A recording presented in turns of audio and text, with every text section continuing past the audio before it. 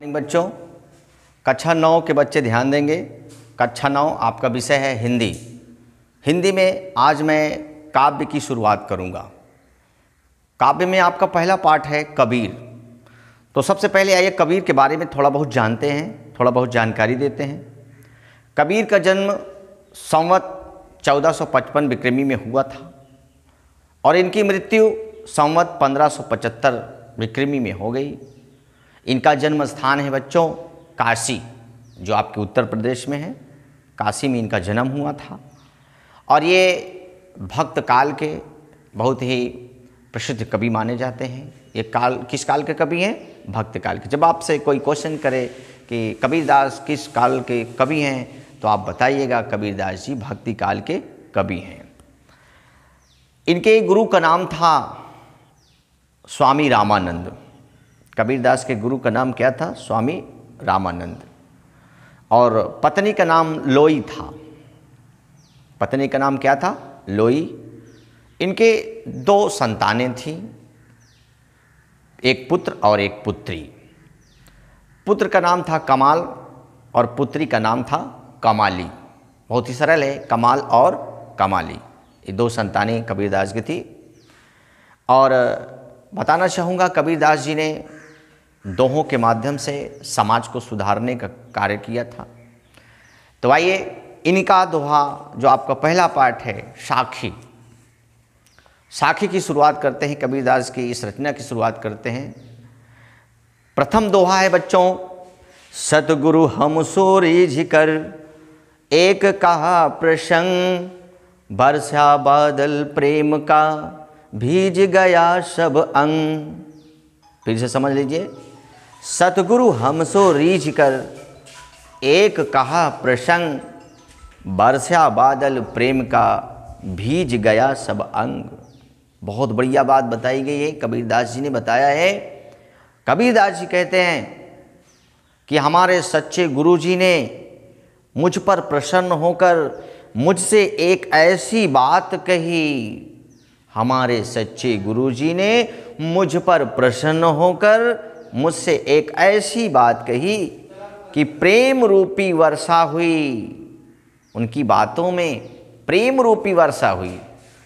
प्रेम रूपी वर्षा हुई और उस प्रेम रूपी वर्षा में मेरा अंग अंग भीज गया। हमारे सच्चे गुरु जी ने मुझसे एक ऐसी बात कही आ, कि प्रेम रूपी वर्षा में मेरा अंग अंग भीज गया। यानी कि अंग अंग भीग गया। समझ गए ना? अब दूसरा दोहा समझिए। राम नाम के पट तरे, देबे कौ कछु नाही। समझिएगा ध्यान से? राम नाम के पट तरे, देबे कौ कछु नाही। क्या ले गुर संतोषिए, हौस रही मन माही। फिर से समझिए, राम नाम के पट तरे पट तरे माने समान होता है। देवे कौ कछु नाई, क्या ले गुरु संतोषिए, हौस रही मन माही। अब इसके अर्थ को समझिए, इसके भाव को समझिए। कबीरदास जी कहते हैं कि राम नाम के समान, जब आप राम का नाम लेते हैं, राम नाम के समान देने के लिए मेरे पास कुछ नहीं है। राम नाम के समान कोई भी वस्तु देने के लिए मेरे पास नहीं है। राम नाम के समान देने के लिए मेरे पास कोई भी वस्तु नहीं है। क्या ले गुरु संतोषिए, हौस रही मन माए। इसलिए मैं ऐसी कौन सी चीज़ दूँ? मैं ऐसी कौन सी चीज़ अपने सच्चे गुरु जी को दूँ हाँ जिन्हें अच्छा लगे, जिनको सुकून मिले जो मुझ पर खुश हो जाएँ, यही पीड़ा मेरे मन को सताए जा रही है, यही कष्ट मेरे मन को सता रहा है। फिर समझ लीजिए, कबीर दास जी कहते हैं कि राम नाम के समान देने के लिए मेरे पास कोई वस्तु नहीं है, क्योंकि राम नाम से बड़ा क्या है भैया? राम नाम से बढ़ के कुछ भी नहीं है। राम नाम के समान मेरे पास देने के लिए कुछ भी नहीं है। क्या ले गुरु संतोषिए हाँ मैं ऐसी कौन सी चीज़ अपने गुरु जी को दे दूँ जिसे उन्हें बहुत वो प्रसन्न हो जाए, वो खुश हो जाए? यही पीड़ा मेरे मन को सताए जा रही है। बच्चों कभी कभी ऐसा होता है, जिसे आप बहुत प्रिय मानते हैं, जिसे आप अपना बहुत अच्छा समझते हैं। अगर उनको देने के लिए कभी आपके मन में कोई इरादा होता है तो मन तमाम चीज़ों पर जाता है। मैं ऐसी कौन सी चीज़ लूँ जो हमारे बहुत ही प्रिय हैं, इनको दूँ तो हमारे ऊपर खुश हो जाएँ?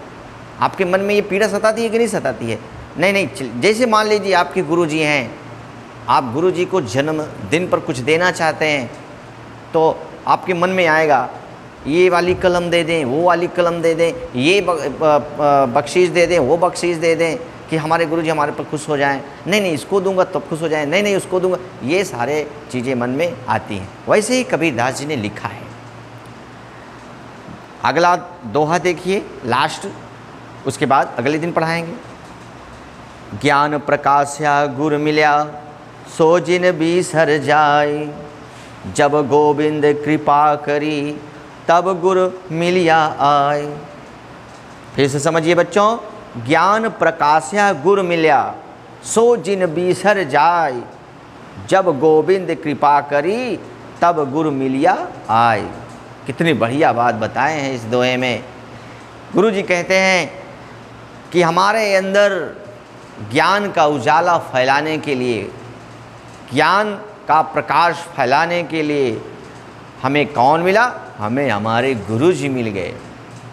हमारे अंदर ज्ञान का प्रकाश फैलाने के लिए, यानी हमारे ज्ञान को प्रकाशित करने के लिए हमको हमारे गुरु जी मिल गए। फिर क्या हुआ? सो जिन भी सर जाए। इसलिए हमें अपने गुरु जी को भुलाना नहीं चाहिए, क्योंकि उन्होंने हमारे अंदर ज्ञान को प्रकाशित किया, हमें ज्ञान दिया, हमें जागरूक किया, हमें सिखाया। इसलिए हमें गुरु जी को भुलाना नहीं चाहिए। सो जिन भी सजा, इसलिए हमें गुरु जी को भुलाना नहीं चाहिए। जब गोविंद कृपा करी, तब गुरु मिलिया आए। ऐसे हमको साधारणतया गुरु जी नहीं मिल गए, जो हमको ज्ञान दे रहे हैं। जब गोविंद कृपा करी, तब गुरु मिलिया आए। जब गोविंद, यानी जब ईश्वर ने मुझ पर कृपा किया जब ईश्वर ने मुझ पर कृपा किया, तभी हमको हमारे गुरु जी मिले। जब भगवान ने मुझ पर कृपा किया, भगवान ने ऐसी कृपा की मुझ पर, तब जाके इस तरह से हमें गुरु जी मिले। तब ऐसे गुरु जी हमको मिले। तो बच्चों, आज बस इतना ही। अगले दिन कक्षा नौ के बच्चे तैयार रहेंगे। अगले दोहे के लिए धन्यवाद।